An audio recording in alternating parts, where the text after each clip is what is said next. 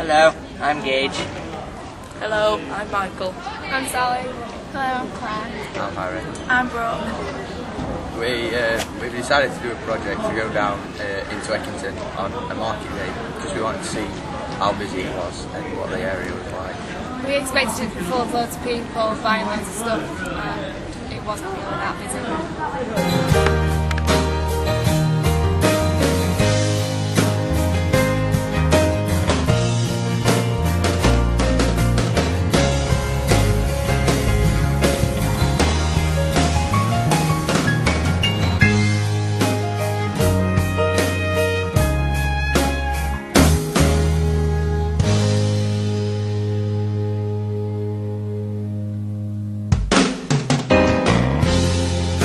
So what becomes of you, my love? When they have finally stripped you the handbags and the glad rags that your granddad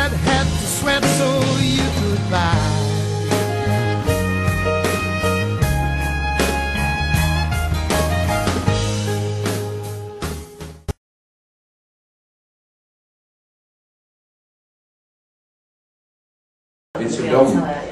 Simple as that. Yeah, simple as that. Um, really run down, neglected, empty, really. Nothing here. I would describe it as a very rundown, small, could be nice town centre. Now that one's a bit difficult because we're a bit run down, we've not many attractions, and we've no shops from come shopping to, have we?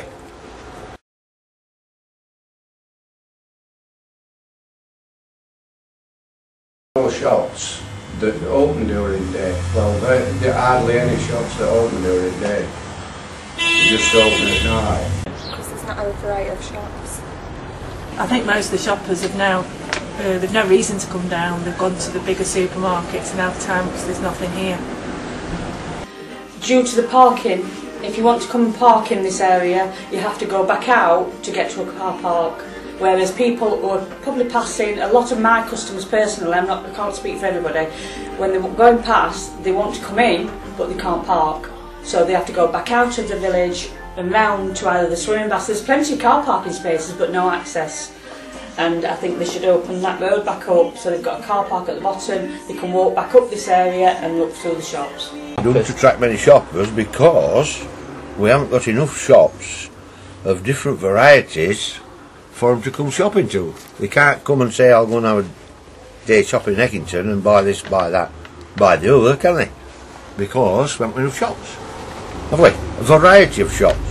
When I were a lad your age, you could buy anything in Eckington. Men's clothes, Frisby's shoe shop, butchers, we haven't got a butcher, have we?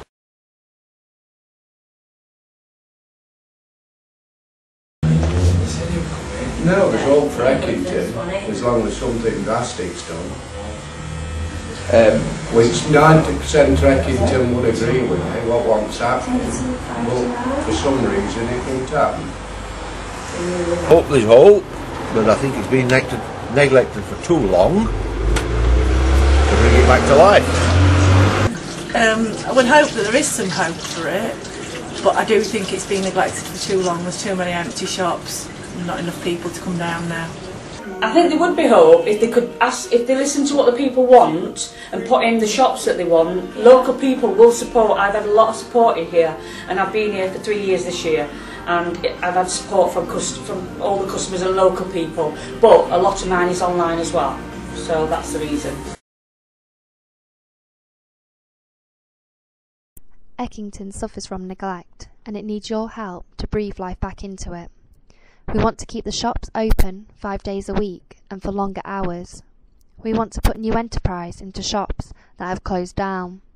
We want to encourage the shoppers to come into town so the market stays open for longer. We have shops that look immaculate, but a town centre that looks far from it. We need your help to take Eckington in the right direction.